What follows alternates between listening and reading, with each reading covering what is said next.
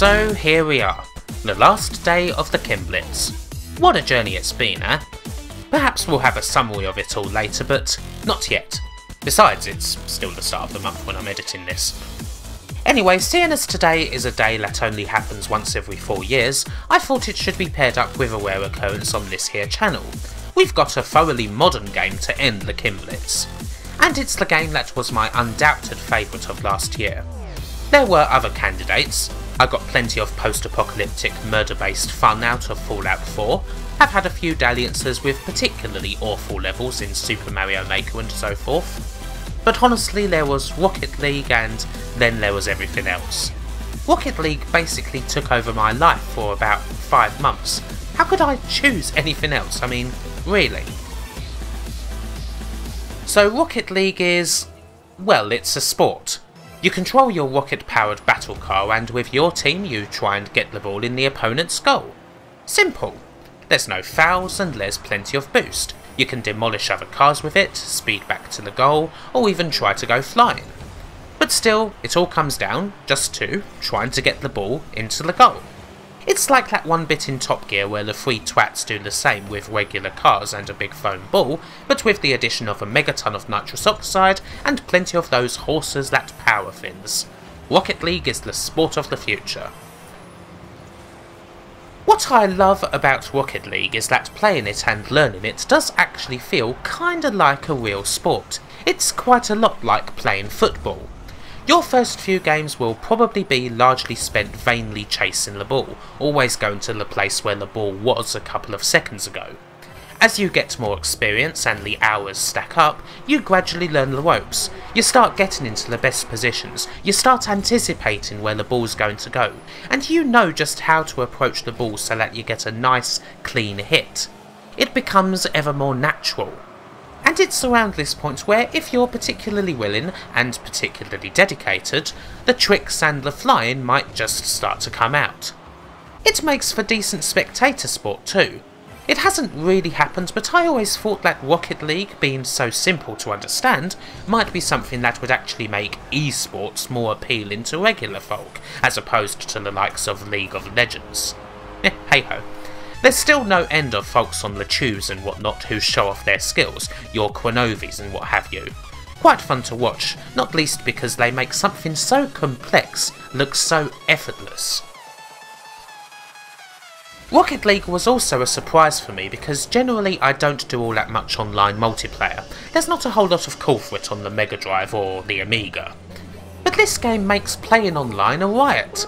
It helps that games are always short, coming in at 5 minutes only, but there's always the desire to do well in every single match. Of course, a lot of that does depend on how your team shapes up.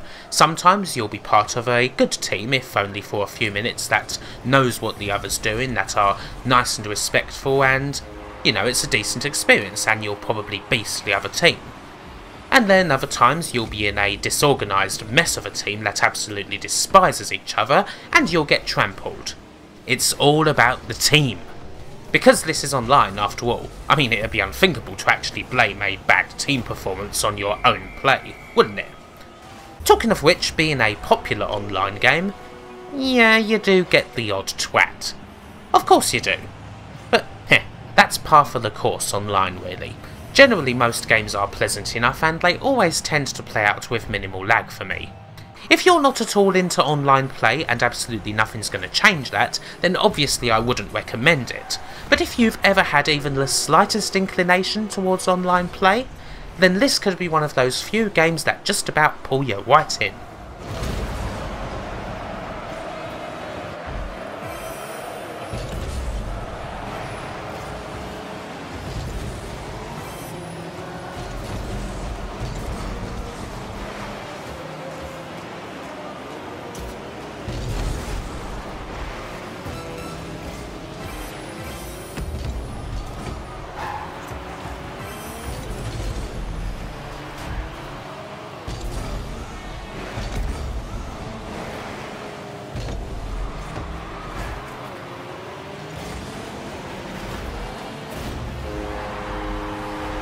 Rocket League in the end was the best game of 2015 for me just because every time I played it, it felt like something different was going to happen.